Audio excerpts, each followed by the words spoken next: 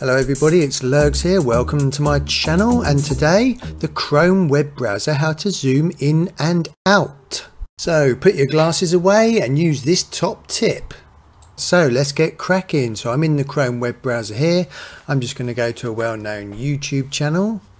And what I'm going to do is actually edit one of my videos and try and add a new language. Now because there's so many languages here, Chrome web browser won't actually show me the add new language feature because the screen's not small enough. So on your keyboard, press the control and the minus key, control and the minus key, and this actually zooms out. As you can see, that's made this, the drop down list smaller. So then I can select the add new language.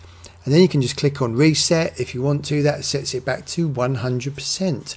And likewise, if I want to zoom in, I can just press the control and the plus button.